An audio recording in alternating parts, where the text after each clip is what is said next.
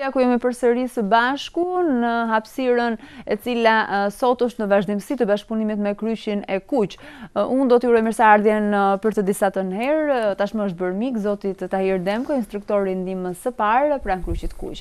Faleminderit që jeni dhe sot. Faleminderit ju.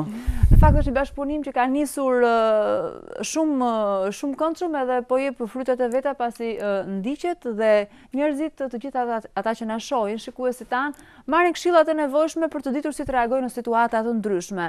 Edhe sot ne do të mundohemi që të sjellim disa situata nga jeta e përditshme në lidhje me pickimet dhe kafshimet, apo jo? Po mundohemi t'i marrim të specifikuara që njerëzit të t'i, t'i mbajnë mend mirë. Mirë, ne kemi folur në emisionet e kaluara po. për situatat natyrisht nga më të ndryshmet që mhm.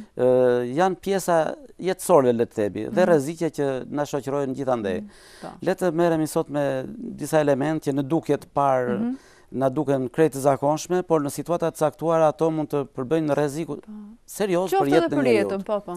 Nëse do të filloja me kafshimet nga kafshët, qofshin të buta, qofshin të egra. Mhm. Tashmë edhe në jetën e përditshme, ato i kemi prezente, po. le të themi qeni, macja, apo kafshë të tjera, mhm. i kemi prezente gjithandej.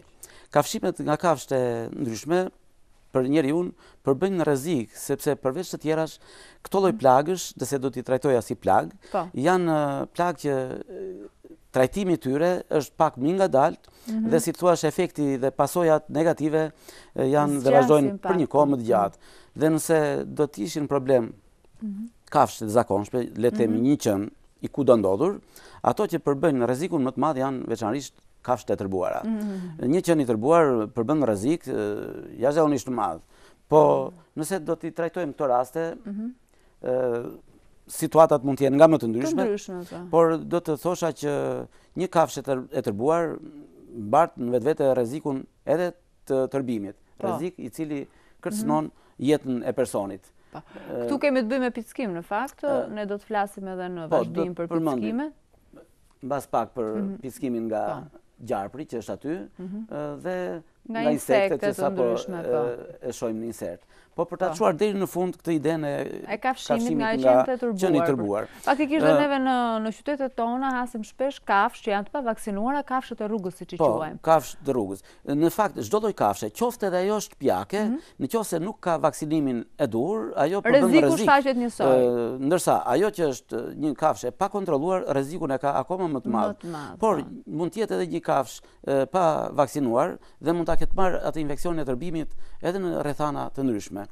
Në qoftë se një kafshë e tërbuar, e ka atë lloj mikrobi, atë lloj infeksioni, mm -hmm. ajo pak ditë mund të kalojë me atë lloj infeksioni që e mbart vetvete mm -hmm. dhe shpërthen si një lloj infeksioni, si mhm. sëmundje. Mm -hmm. Dhe po. kafsha brenda një kohe jo shumë të gjatë mund të ngordhi. Mm -hmm. Por në qoftë se një kafshë e tillë, themi kafshoi, ku e dimë ne që kjo është një kafshë e tërbuar? Po? Ajo në fakt dallohet, sepse ndryshe nga sjelljet e përditshme, Një qen i tillë është deri diku është pak më e afrueshme si kafsh ose qeni mm -hmm. afrohet më shumë dhe në një moment caktuar mund të shpërthejë në një lloj agresiviteti. Mm -hmm. Pra si të thuash, kafsha dallohet ndryshe nga kafshët e tjera sepse mm -hmm. bëhet më agresive në një moment caktuar mm -hmm. dhe së dyti kur ecën kafsha ecën disi e çekuilibruar, mm -hmm. sikur dikush e ka goditur apo. Nuk ka një ecje normale. Po. Ndërsa ajo që e bën të dallohet dukshëm është, më falni, ka shumë sekrecione, mhm. shumë jargavitje. Po. Madje, pikërisht infeksioni i tërbimit, mbartet pikërisht në këto sekrecione. Atëherë, në qoftë se një kafshë e tillë, që ne shohim që ka sekrecione, shkumzime tjera, të kafshon, por dhe nëse mund të jemi në kushte errësire që ne nuk dallojmë, po. atëherë ne veprimin e parë që do ta bëjmë është në pjesën e dëmtuar, se ato mhm. aty këtu janë dhe kafshë pak tinzare, të kafshojnë diku pa, po. e pasë kujdesin e duhur, veprimin e parë do të bënim menjëherë pastrimin, shplarjen me ujë të ngrohtë, ujë të nxehtë me sapun, ujë të nxehtë, përderisa e duron po. lëkura. Sepse vetë infeksioni apo mikrobi i tërbimit mm -hmm. në fakt nuk i reziston temperaturave të larta, të lartë po. dhe e, sapunit. Mm -hmm. Domethënë është më pak rezistent. Dhe e dyta, pse me ujë të ngrohtë, që ato enë gjaku që janë dëmtuar, për momentin le të kenë një lloj bymimi mm -hmm. që të ketë të stimulojnë rrjedhjen, po, që të nëpërmjet saj të pastrohet pak a shumë plaga.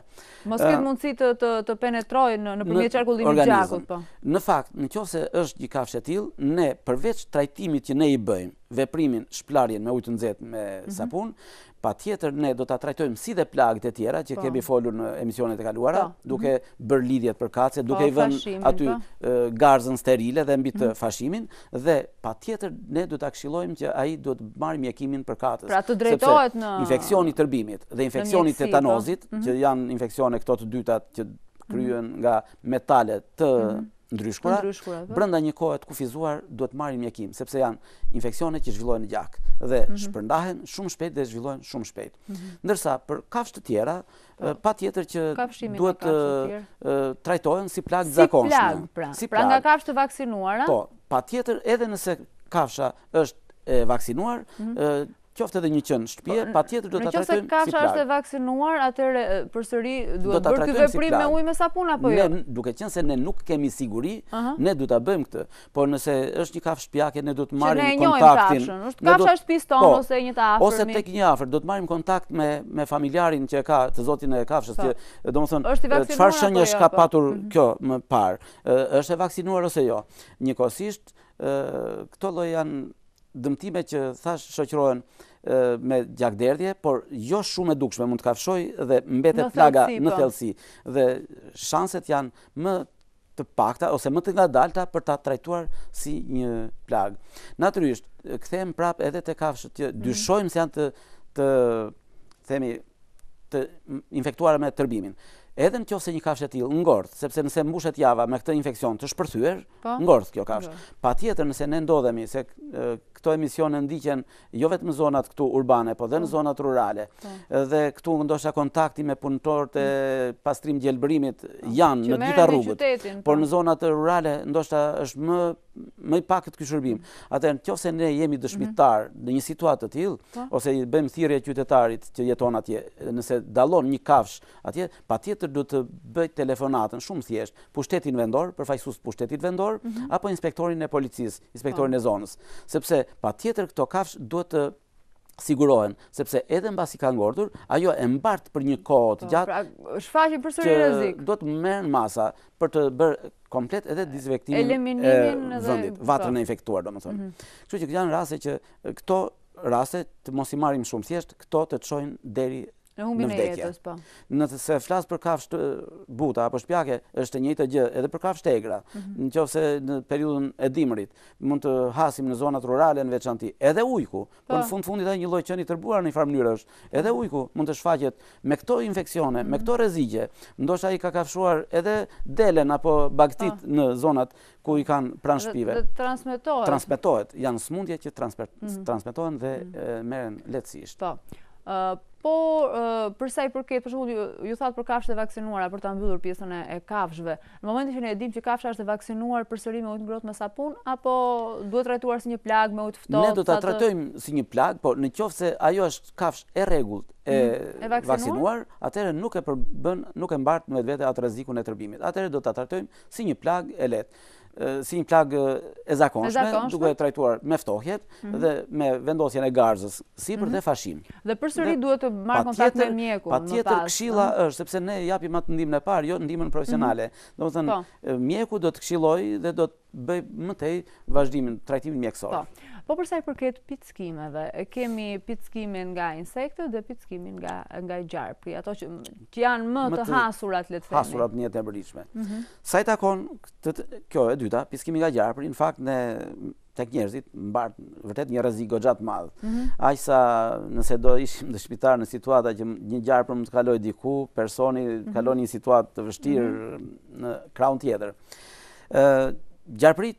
Tek ne nuk janë tepër helmus, për të qenë korrekt me këtë që them. Sepse dhe gjarpërinjtë janë të llojeve të ndryshme. Sipas përqindjes dhe llojit të tyre, sipas përqindjes dhe llojit helmit. Nuk janë tepër helmus e para, dhe dyta ka shumë ujëra, dhe për shkak të mhm. pranisë ujërave, helmi është më pak i përqendruar. Mhm. Por megjithatë, në qoftë se pickon një gjarpër, Çfarë do të bënim ne? Po, hapi i parë. Ku e dimë ne që pickon gjarpri? Aty në pjesët që pickon gjarpri, le të mhm. themi në ekstremitete zakonisht, po. sepse gjarpri nuk gjendet në xhiro në në po, po, po. bulevard apo në trotuar. Është në zonat rurale, le të themi aty ku është bari, ku është druja, ku është Ku ka shkurre?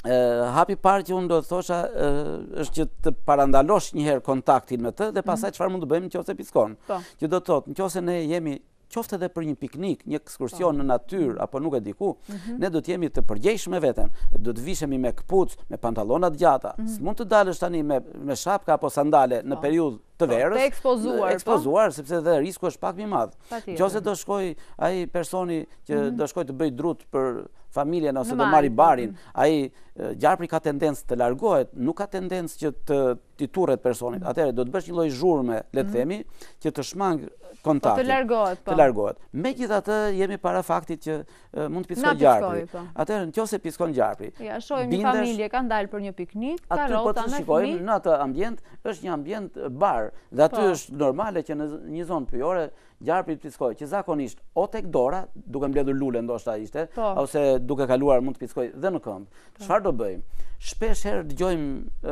veprime aty po bëhet thjesht vetëm një lidhje e menjëhershme. Mhm.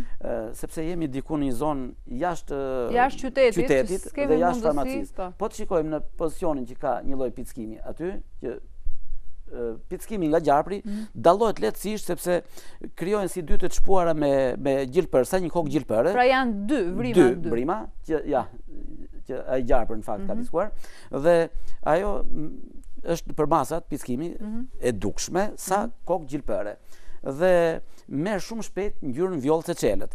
E dyta, ajo pjesë e pickuar, e dëmtuar, ajo fillon enjtet gradualisht dhe njëkohësisht fillon, mhm. ndryshon ngjyrë. Po. Atëherë, çfarë do bënim në një situatë si kjo? Mhm. Unë po e filloj nga e kundërta, çfarë ne s'duhet të bëjmë? Ajo po. që s'duhet të bëjmë është që mos të marrësh një biçak, një bisturi, ta çajmë në formë T-je ose po. kryqi dhe më fali thith pështy. Sepse këtu ne mund të marrim një infeksion të mundshëm nga goja në mishin e dhëmve, në gjuha ose buza që mund të ketë një çarje e tjera.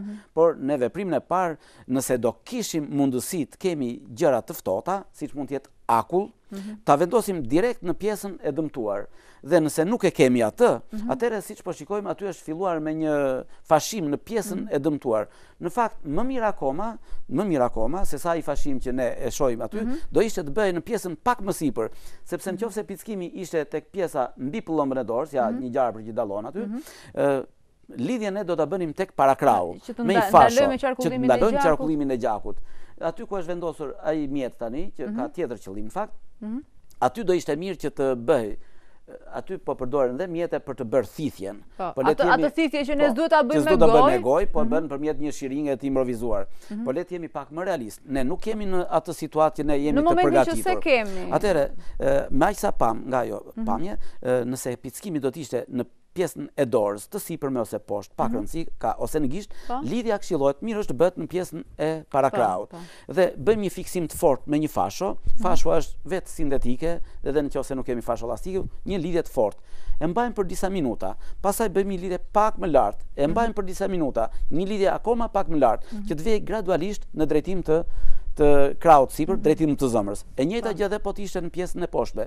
Po. Ndoshta na ka pickuar tek gishtat e këmbës mhm. ose tek këmba poshtë. Varet nga vendi ku. Është e njëjta gjë, përsëri lidhja do bëhet graduale.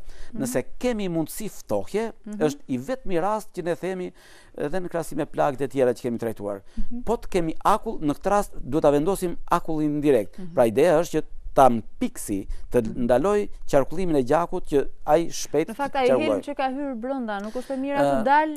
Ai është mirë të dali, po unë nuk do këshilloja dhe ne nuk do këshillonim dhe nuk Sugjerojmë asnjëherë që të bëhet thithja nëpërmjet gojës, sepse ne gojë higjienike mund ta kemi, por jo sterile, që mund të ketë çarje dhe nëpërmjet enëve të gjakut. Ose dhëmbët, të gjitha qarkullon. Po, mund të marrësh atë lloj helmi.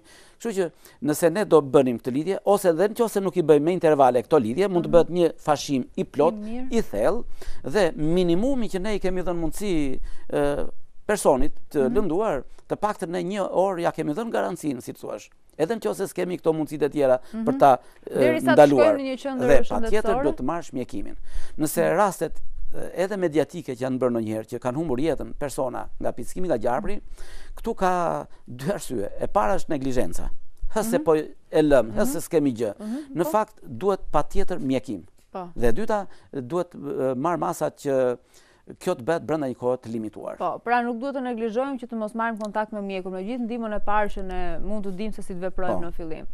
Mirë, në fakt sot e kishim pak kohën na iku shumë shpejt, megjithatë shpresoj që të kemi ndihmuar sadopak, ne do të vijojmë dhe në javët e ardhshme me situata të tjera për të ndihmuar shikuesit tanë që të dinë se si të veprojnë. Faleminderit shumë. Faleminderit. Jo, unë vetëm një fjali do po? thosha për insektet, po? që mos i mbetet po? merak, domethënë teleshikuesit që Në të gjitha rastet që mund të kemi pickim nga grenza, bleta, apo merimanga, akrepi, këtë unë, ftohje, ftohje. Nëse jemi në lokal dhe na pickon ke buza, ke gjuha, ujë të ftohtë sa më shpejt që të ndërpresësh, jo vetëm dhëmbjet, por ënjtjen. Sepse ënjtja mund të bllokojë frymëmarrjen. Po. Mirë, shumë faleminderit dhe ju uroj punë të mbarë. Falënderoj dhe shikuesit që na ndoqën në këtë hapësirë në bashkëpunim me Kryqin e Kuq.